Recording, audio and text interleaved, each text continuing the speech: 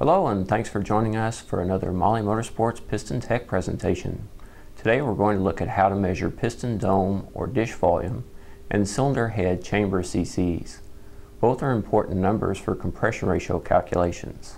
Both can typically be found in the piston or cylinder head manufacturer's published specifications, but in some cases where it isn't known if modifications have been made or for those that haven't seen the process, we're going to show you how it's done.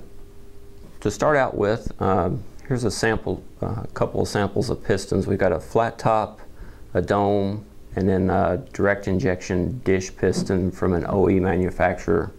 A lot of times when you're wanting to upgrade from the OE manufacturer's piston, you'll have to measure the OE sample to figure out your compression ratio.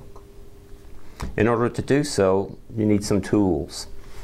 Um, here we have a glass plate with a hole drilled into it, um, a piece of acetate with a, a dome milled into it. Um, then we have a burette, a graduated burette, which you can accurately uh, deliver the fluid to measure the pistons. Then you use to do so, you use isopropyl rubbing alcohol rather than water because the surface tension of alcohol is much less than water. So it'll flow into all the cracks and crevices of a, a dish or a dome.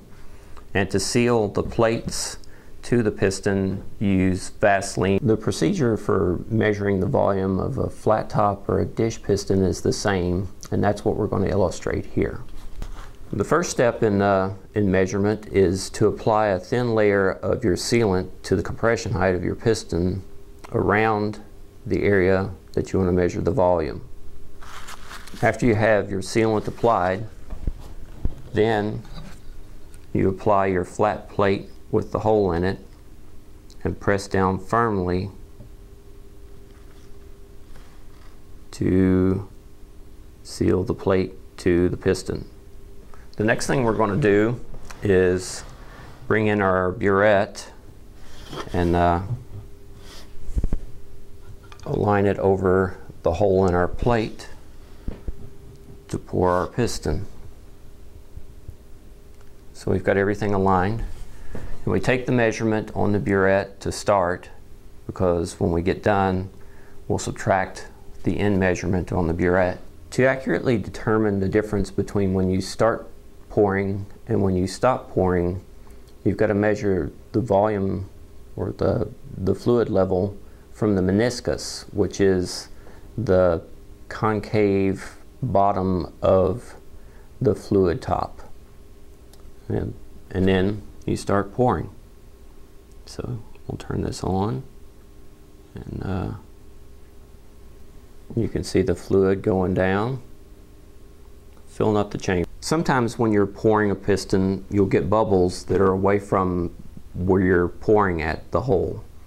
In this case, you would use the piston and the assembly like a bubble level, and you'll kind of rock it around and move the, the bubbles over to the hole where you're pouring, and that way you can pour the whole thing and get an accurate measurement.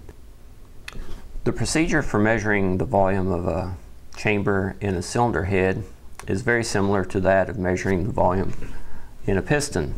The first thing you do is put in your spark plug and if you have a direct injection injector and then if your head is assembled with valve springs and everything your valves will be sealed. In this case they're loose.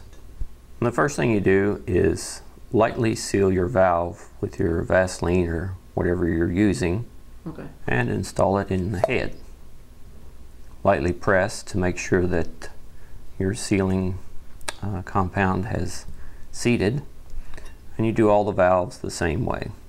Then the procedure is basically like we did with the piston. We apply our glass plate. We apply our sealant around the chamber, then apply our glass plate, then we pour and measure. To measure the volume of the dome and or valve pockets in a dome piston, the procedure is a little bit different. Uh, you'll have to install the piston on the rods and the crank in the block and there are two different ways of doing that. The first way is to run the dome piston down the hole and measure the depth in the hole of the piston compression height and then install your flat plate and seal and pour as usual. The second way is to bring the dome piston all the way up to TDC and measure the how far it is in the hole as well. And then you install a dedicated tool such as the Moroso acrylic plate dome tool and pour as usual as well. Measuring the piston dome volume on a typical block, there's a potential for error. Uh, for a typical 4030 bore piston, uh, the potential for error is about two tenths of a cc. Also, the piston might rock in the bore 10 to 15 thousandths, and this can result in about two to three cc's worth of error. In this video, we've seen how to measure the uh, volume in dish, flat top, and dome pistons, and also in cylinder heads. It's not a very difficult process, but it does require uh, a user to be careful and to be neat in order to be accurate. Thanks for watching and be sure and follow us on Facebook and YouTube for more informative videos.